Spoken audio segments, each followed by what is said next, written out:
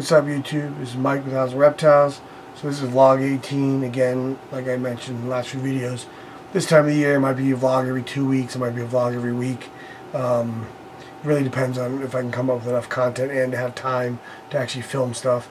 But uh, what the snake I'm holding here is my crystal female. If you've been following me on um, Instagram and Facebook, uh, the links are in the comments below.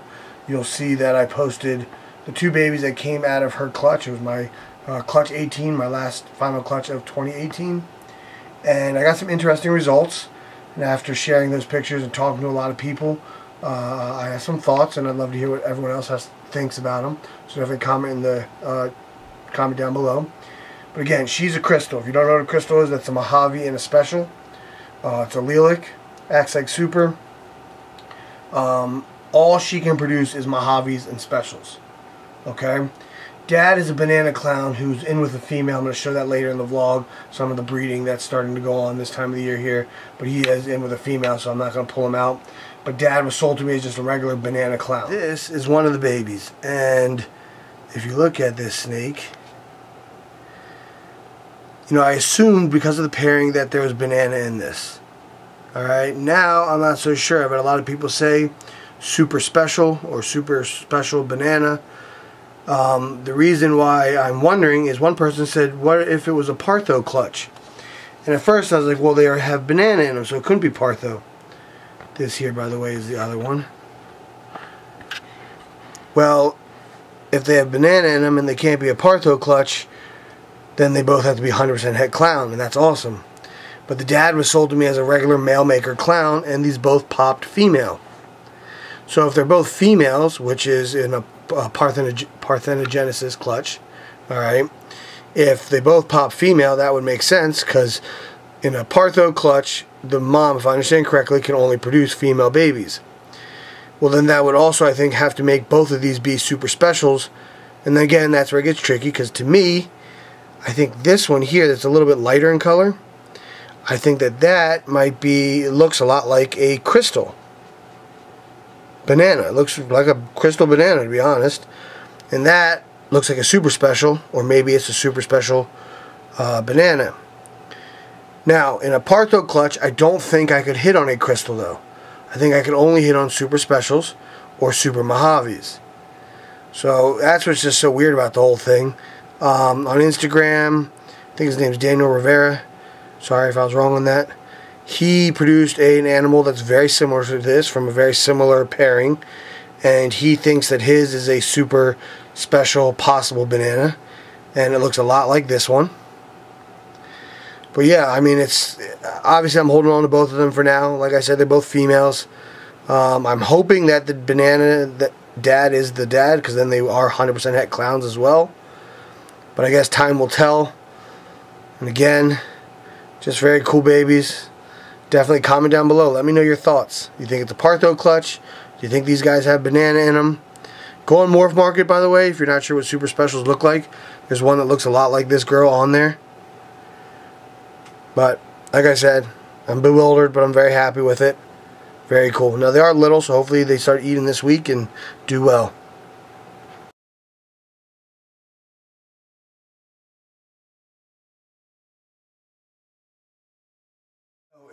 Uh, actually the end of December. It's actually almost Christmas.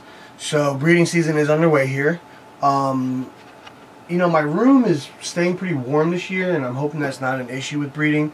Uh, but I did put a few animals in together yesterday, and I had a bunch of locks this morning. So I figured, hey, I'll show you guys some of what I have going on, some of the locks that are going on.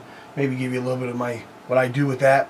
Uh, one thing I try to do is I always try to clean the female's tank beforehand.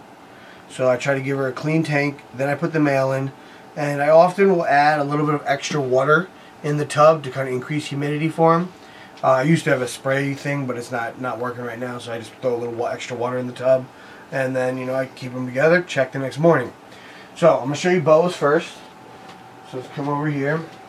Now, one of the things with breeding is they do make a mess, so I'll apologize ahead of time that most of them have, you know, urates, maybe some poop. Uh, sometimes they spill the waters, things like that. Uh, so this morning, these two, uh, they're not, I don't think they're locked anymore. But the big one is a cow, a stripe Kahl albino. It's funny. I had someone recently tell me how to pronounce cal or call, and I'm like, thank you, but really, guys, you know, if I wanted pronunciation lessons, I'd take an English class. But anyhow, thank you. So it is call, uh, K A H L, so Kahl albino. Uh, the big female here, and she's just a call, Kahl albino with a stripe. The male is an albino leopard. They were locked up pretty good this morning. It does not look like they are now, but coming back in. That's one of my boa breedings. This here is another one of the boa breedings. This is, uh, I'm very excited for this one. Uh, they do not look locked up anymore either. They were this morning. So I have a blood female with a, um, oh my gosh, what is he? Hypo Hog Island Het Blood male. And that's the male, whoop, and that's the female.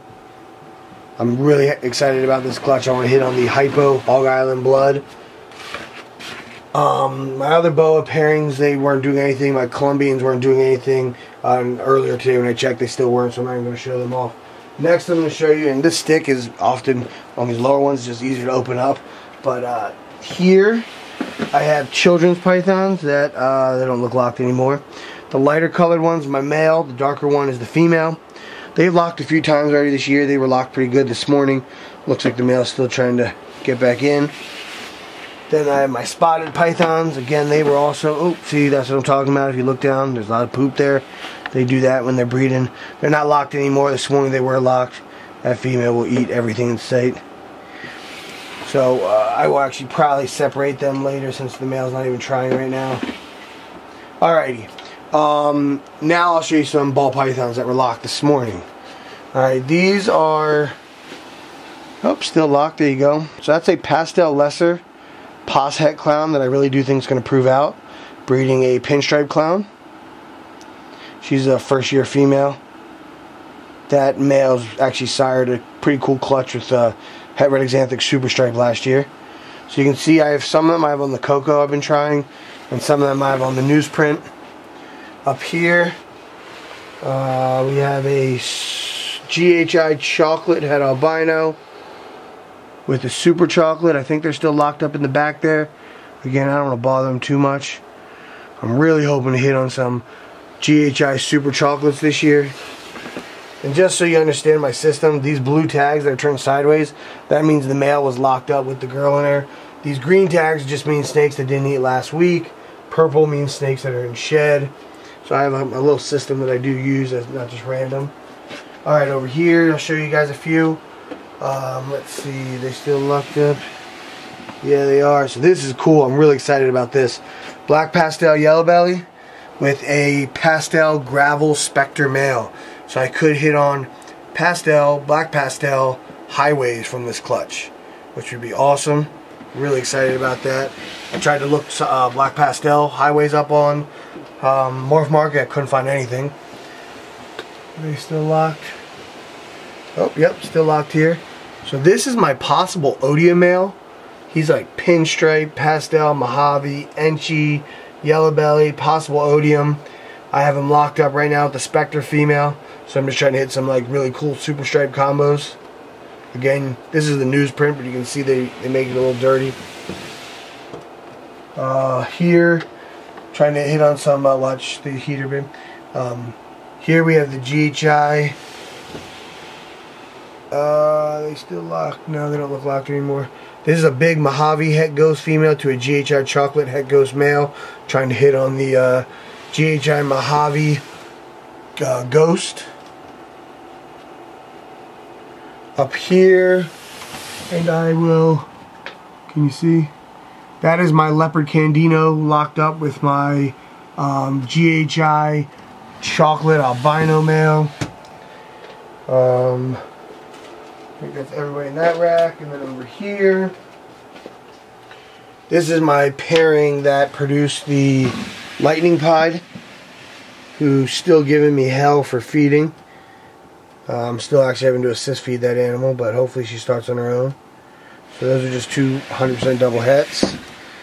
Uh, I'll show this guy off, even though they weren't locked earlier. He's working on it, but still not. That's the, the banana male. Which I guess in theory, if he is the dad of that clutch, he might actually be a banana special clown. But again, he was just sold to me as a banana clown. And that is a big het clown female that he's in there with. Um, I do have a couple other pairings like this, which I can't get this male. I've tried every trick in the book, but I cannot get this male to do anything. This is a black pastel, pastel clown male. I cannot get him. He's almost a thousand grams.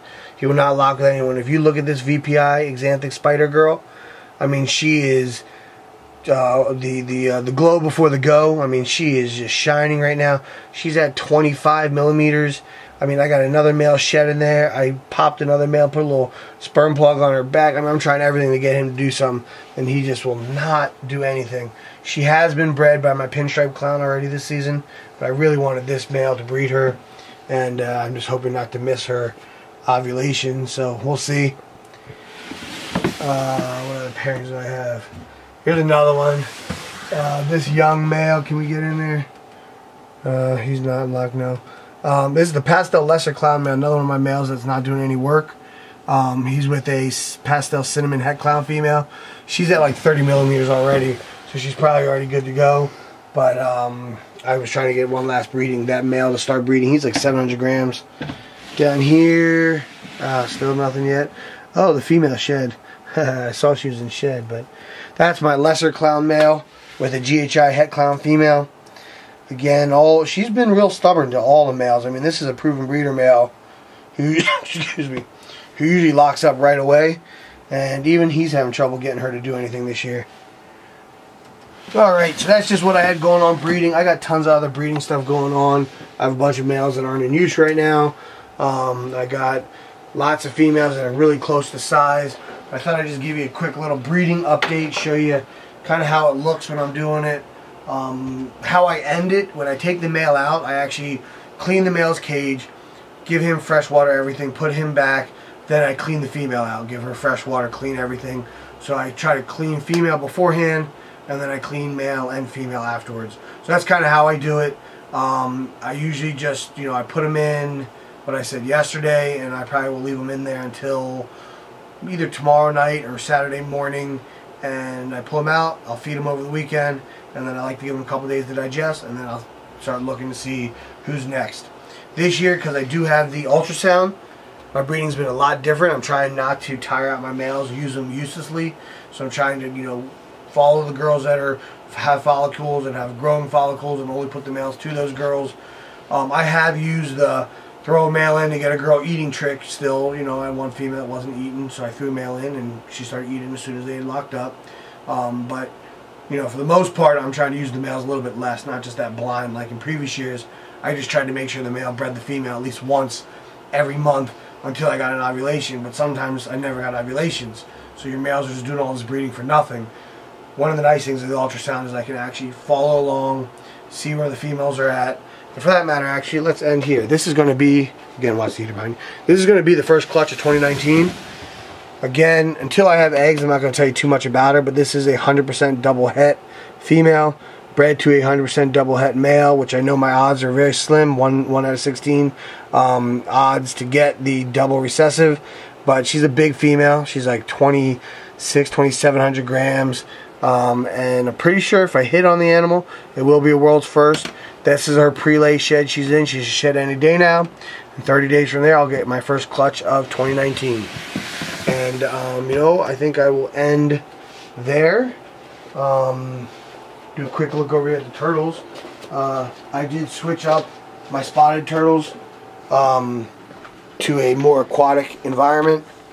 So the little fellas down here, but I was keeping them for the winter altogether, but it was more for um, the North American woods and the box turtles, but uh, it wasn't. They weren't doing well, the spotteds.